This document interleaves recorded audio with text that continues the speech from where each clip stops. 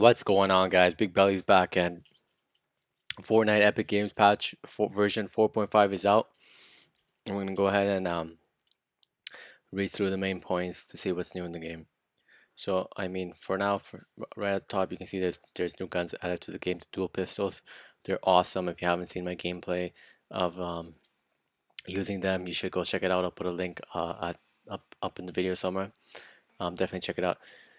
So let's continue. I'm just going to be reading the main points and not everything. So we're going to just jump straight to uh, playground modes have been temporarily disabled uh, due to um, them having issues with it. So they'll bring it back uh, soon. So let's go straight into the Battle Royale update. So I'll go through the playground mode. Um, however, remember that it's not there right now, but when it does come, these are the things you need to know about it. So for those of you who don't know what playground mode is, it is basically a practice mode. Um, you go in there and practice your building. Um, you can have fun, get better at Fortnite, and you can train with your squad up to three members. Um, you have one hour in this game mode. Friendly fire is on. Um, therefore, you can finally do like if you and your friends always say, "Oh, I'm better than you," and I'm better than you, or he's better than you, and blah blah blah. You can finally go one on one with your friends, um, make a tournament out of it, or do something to finally see who's better at the game. Um, uh, so when the players die, you will be respawned. Um, however, if you die to the storm, uh, you're going to be dead forever. Uh, the storm starts to close in at the 55 mark and will take 5 minutes to uh, fully close. Uh, resources gathered are 10 times the normal rate, and there will be 100 llamas on the map.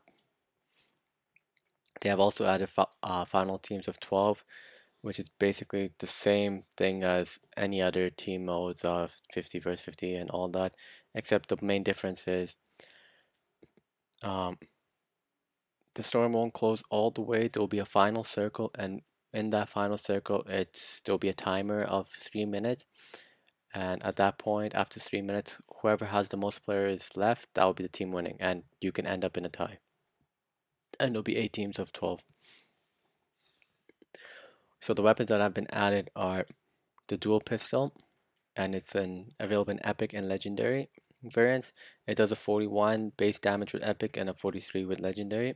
It uses medium ammo and you shoot both guns with the same trigger. So it's not like dual pistols in like Call of Duty where um, you use two different triggers to shoot the different pistols. Uh, one trigger will shoot both the pistols. Uh, they can be found from loot, uh, floor loot, chests, and supply drops. And for you, for those of you who know what first shot accuracy is, um, there is no first shot accuracy for dual pistols and um, I will be coming out with a video uh, discussing what first shot accuracy and how bloom works in Fortnite.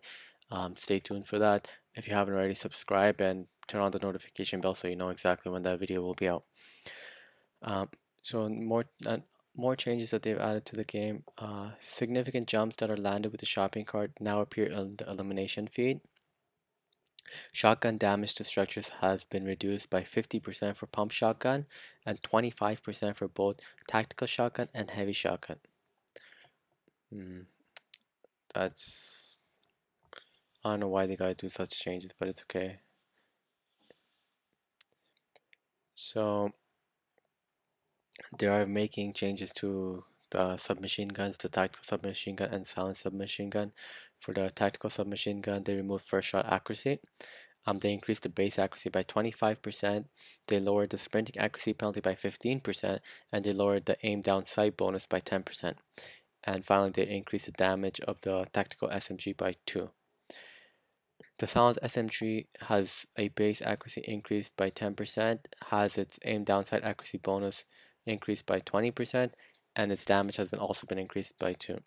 So this might make the SMGs a little bit stronger to um, go up against your shotguns and the shotguns nowadays are not even that powerful anymore so SMGs are definitely an alternative to that um, the grenade launcher the grenade launcher visuals have been temporarily changed uh, to shoot fireworks instead and this will be for July the 4th and uh, I'm I might be for Canada Day too but Uh, I definitely know it's definitely for July 4th since they're an American-based game.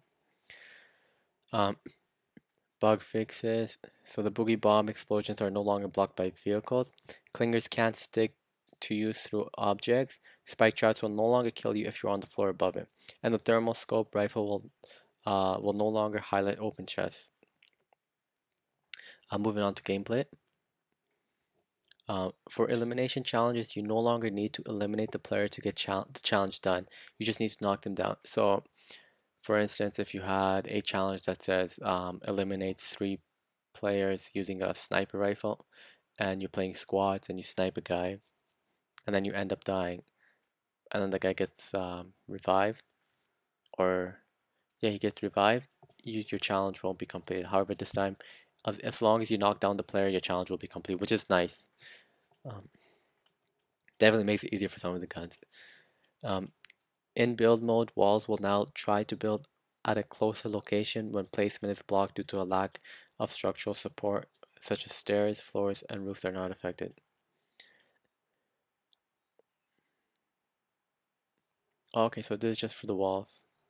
Um, players in the down but not out state can no longer enter shopping carts. Um, so that's the main thing for the bug um, fix. I know there's a lot of stuff here, but many of them is things that you don't really notice. Um, you can always go back or pause the video and just read it yourself. Again, I'm just trying to give you the main points that are necessary to know for the game updates. So performance um, fixes, uh, they improve performance of skydiving on all platforms by reducing rendering related CPU hitches. They fix the source of hitching on Xbox One improved performance for moving ammo and weapon pickups, improved player movement updates in large team games. This should make the movement of other players appear smoother. They fixed skydiving ring ticking the entire match. They also have audio fixes, which I'll go through real quick.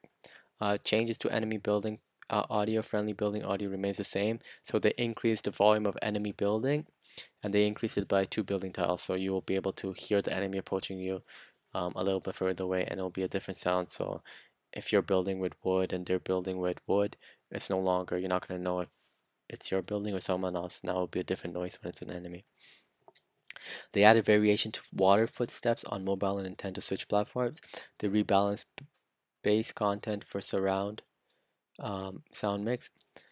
Uh, the bug fixes for audio, they re-allowed the first few milliseconds of audio to play if an emote is triggered while jumping. Suspension audio on cars is no longer spammed when jumping or sliding off of them. Shopping carts no longer spam their collision audio if flipped upside down.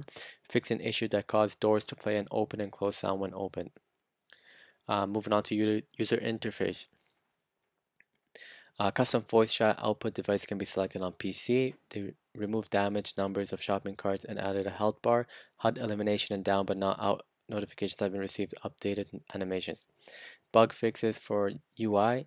Uh, damage numbers no longer overlap if damage is done to both shield and health, and they fix an issue where the player was unable to drop or split an item after dropping a full stack of items. Um, art and animation. So the cape on the Battlehound outfit is now available as a back bling. Added capes to the Ventura and Venturion outfits. A pillar of light will now appear at the location where friendly friendly map markers are placed. Replay system. Uh, they remove Pro Am replays finally. Uh, don't need to see that in the replay system anymore. And replay browser entries will now scroll if text doesn't fit. Spectating. Bug fixes. The shield bar no longer incorrectly fills and empties when switching between players in spectator mode. Thank you guys for watching this video and if it helped you at all or you learned something new, make sure to hit the subscribe button, like the video, and share it with your friends so they know what's up and what's new with Fortnite. Till next time, take care.